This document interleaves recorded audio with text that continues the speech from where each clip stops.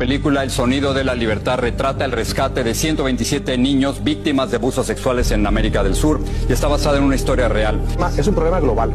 bueno, en total hay más de 40 millones de esclavos en el mundo. Hay más esclavos ahora que cuando la esclavitud era legal.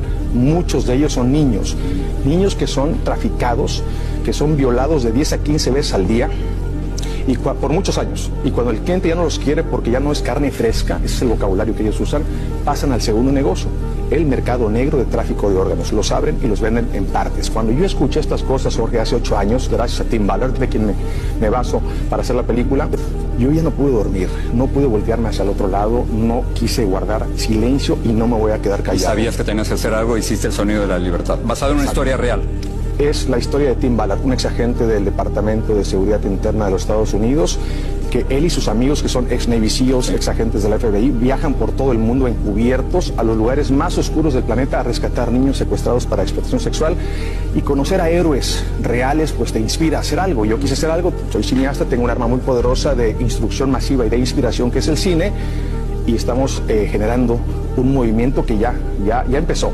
Esto ya no nos para nadie. La película se estrena el 4 de julio en más de 3.000 salas en Estados Unidos.